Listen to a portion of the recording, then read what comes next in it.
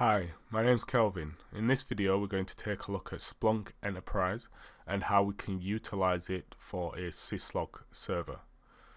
First of all you need to head over to the Splunk website and download Splunk Enterprise, any of the editions. For this demonstration I am using the free edition. Once you've downloaded Splunk, go ahead and sign in.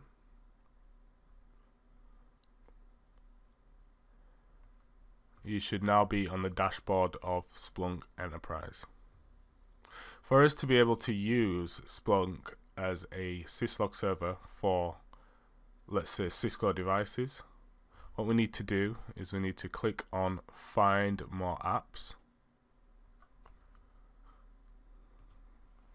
And in the Find Apps by Keyword Technology, etc., we just type in Cisco and we can see a few add-ons here. So the add-on that we're interested in for Cisco devices is Cisco Networks add-on for Splunk Enterprise.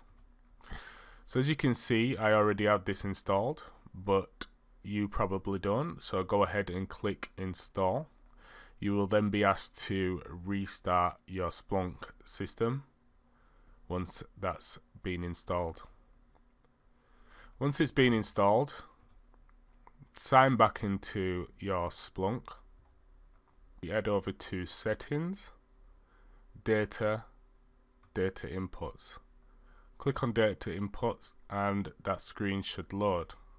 Head down to UDP and we're going to listen on UDP for syslog which is by default. You can also listen on TCP but for this demonstration we will use UDP. And what we need to do is we need to click add new.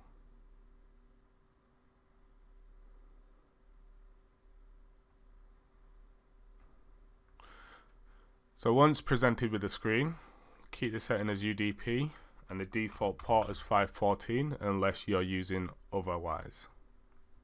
The next two fields, source name, override and only accept condition from, they are optional. Click next. So now we can see the input settings. What we need to do is select source type and type Cisco and enter. Select Cisco IOS.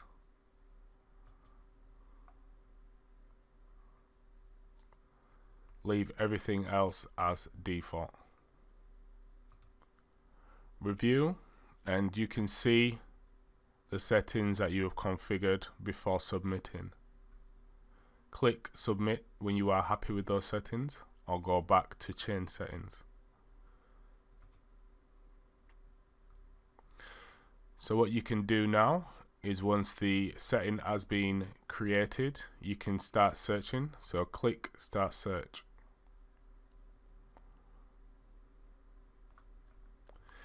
you can see that the specifics already selected in terms of the search. We can see that the source equals UDP 514 and the source type is Cisco IOS. And below you can see that these fields are highlighted based on your search.